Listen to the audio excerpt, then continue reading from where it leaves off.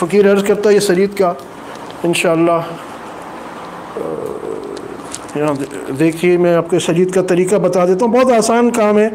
आपसे असल में फरमाया शरीत के बारे में कि शरीत को बाकी खानों पे ऐसी ही फजीलत हासिल है जैसे अम्मा आयशा रज़ी अल्लाह तु को बाकी ख़वातीन पे फजीलत हासिल है। और क्या है सिंपल खाना। क्या है कि ये सालन, जैसा आप देख रहे हैं, सालन उसमें आप गोश्त का हो या जैसा भी हो, कोई ज़रूरी नहीं है। इसमें हमने गोश्त इस वास्ते रखा ख़ास तौर पे क्योंकि वहाँ मुर्गी नहीं रखी। मुर्गी का भी शरीर बन सकता है, वो भी सुन्नत के मुताबिक ही होगा, वो मसला नहीं है। मगर वहाँ क्योंकि अरब में मुर्गियाँ नहीं थी उस वक़्त, और दुम्बे या बकरियाँ ही थी तो इस वास्ते और एक कोशिश करने के लिए कि और ज़्यादा करीब आ हैं तो इस वास्ते हमने ये गोश्त आपके सामने रखा है। अच्छा इसको बनाना बहुत सिंपल है। ऐसे रोटी लीजिए, इसको तोड़ लीजिए, किसी अंदाज में भी, किसी अंदाज में, मकसूद है कि इसके छोटे छोटे लुकमे यानी लुकमे बना दीजिए। ये आप देख रहे होंगे साइज़ का कोई तयन नहीं है, पर ऐसे जैसे आम एक एक लुकमा होता है, इस साइज़ का आपने बना दिया, इस रोटी को आपने, इस अंदाज में हमने ऐसे तोड़ दिया, देखें। ठीक है जी? तोड़ के और फिर रोटी को हमने सालन के अंदर ऐसे डाल दिया।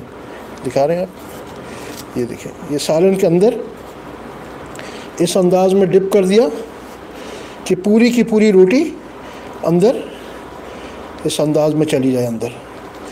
यानी पूरी की पूरी जिसको कह देंगे ना कि रोटी भीग जाए सालन के अंदर। ये देखें, ये इसको अच्छी तरह मैं सिर्फ़, एक सिर्फ़ ये आपको एक समझाने के लिए, समझ तो शायद आ भी रही होगी। ये देखिए कि इसके अंदर जैसे ये पूरा का पूरा लुकमा जो है अब आप देख रहे हैं कि दोनों तरफ़ से ये लुकमा तर हो गया है। ठीक है? दोनों तरफ़ से तर हो गया है। और इसको इस तरह अच्छी तरह डबो के, अब ये किसी चीज़ का भी, किसी सालन का भी आप शरीर इस अंदाज में बना सकते हैं। और इसको फिर जो है, वो फिर नोश करें आप, इसको खाएँ। और जैसे अब ये ये ख़त्म हो गया तो आपने फिर और इसी तरह के ग्रुप में डाल दिए। सालन ख़त्म हो गया तो इसमें ऊपर से सालन और डाल दिया। और इसी तरह दोबारा रोटी के अच्छी तरह डबो दिया। आप देखें इस तरह जिस तरह ये होता है ना, जैसे डूब गए हैं रुक में इसमें। और फिर इसको बुला के आप खा लें। इस नीयत से कि ये आप वसल्लम की महबूब डिश है। अल्लाह और उसके रसूल वसल्लम ने इसको पसंद किया। अल्लाह अकबर। और कितना मज़ा है कि एक तरफ़ आप, अल्हम्दुलिल्लाह, खाने का मज़ा भी आ रहा है, लुत्फ़ भी आ रहा है। और बहुत लजीज़ खाना आप ट्राई कीजिएगा। बना अच्छा इसमें देखिए, बनाने में क्या लगता है? सिंपल रोटी सालन आपके यहाँ बनता ही है।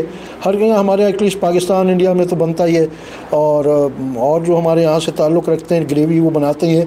तो ग्रेवी के अंदर, इस अंदाज में रोटी को आप भगो के अब आप एक आखिरी लुक आपको फिर अर्ज़ करूँ, ये पलट के भी दिखा रहा हूँ।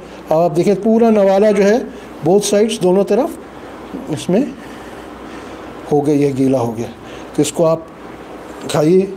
इस नीयत से कि आपसे की सुन्नत है और बहुत बाबरकत है।